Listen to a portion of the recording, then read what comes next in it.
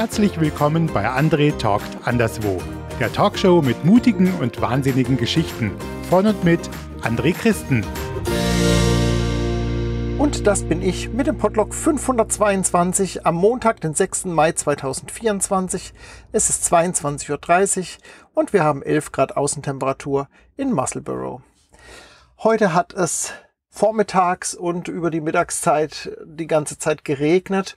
Ich habe dann noch mh, mm, am Stellplatz, wo ich ja letzte Nacht übernachtet habe, noch entsorgt und bin dann ja kurz vor Mittag dann auch dort weggefahren. Bin dann wieder hier auf diesen Park and Ride Parkplatz gefahren und habe gearbeitet. Hatte dann noch ein Meeting bezüglich mm, einer Testung eines neuen Plugins.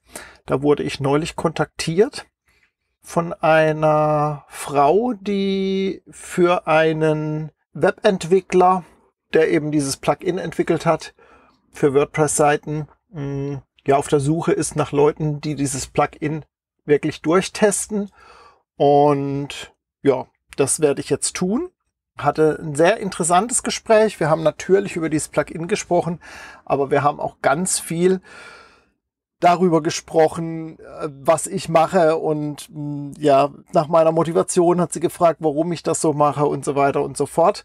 Und mm, sie hat eben ihr Leben auch vor über einem Jahr neu gestaltet, hat also quasi auch einen Umbruch in ihrem Leben und darüber haben wir uns halt ausgetauscht. Es war ein sehr angenehmes, sehr nettes und intensives Gespräch mit wirklich einer Fremden auch, die im Moment jetzt gerade in Spanien ist, in einem Landesteil, der als Schottland von Spanien bezeichnet wird, Galizien. Das wusste ich auch nicht und äh, sie hat es auch erst neulich erfahren und ja, fand ich sehr interessant.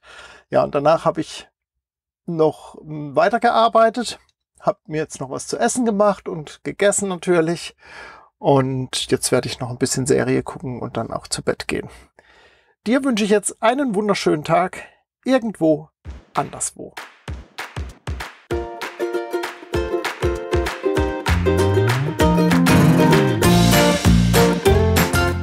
Ganz lieben Dank fürs Einschalten bei André Talkt Anderswo.